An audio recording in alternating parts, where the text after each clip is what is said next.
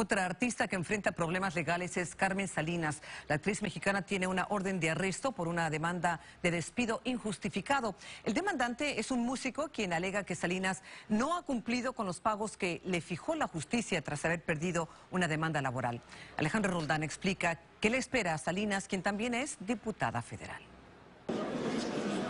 36 horas de arresto tendría que pasar la actriz, empresaria y diputada federal Carmen Salinas por incumplir con el pago de sus obligaciones patronales tras perder una demanda laboral, pero según dice ella, hasta el momento ninguna notificación le ha llegado. No sé ni de qué me están hablando, te lo juro. Por eso está mi abogado, pero yo no sé de qué me están hablando. Explicó que ya se pagaron los 3 millones de pesos mexicanos a los que estaba obligada tras perder la demanda y que ya no quiere hablar más del asunto. Yo no voy a hablar nada del señor ni de nadie porque los están utilizando a ustedes, a mí no me van a utilizar.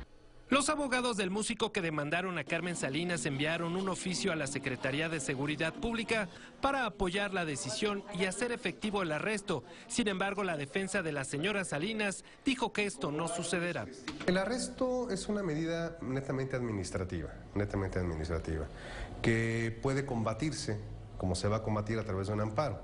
Y un amparo lo que hace es analizar si es legal o no. En este caso no es legal. Explicó que para llegar a la orden de arresto tuvieron que llevarse a cabo varios procedimientos. Uno de ellos era enviar una notificación a la actriz, lo que nunca sucedió. Cuando lo legal era que hubiese apercibimientos, amenaza de multa y no irse directamente a un arresto como lo están haciendo, lo cual es a todas luces indebido.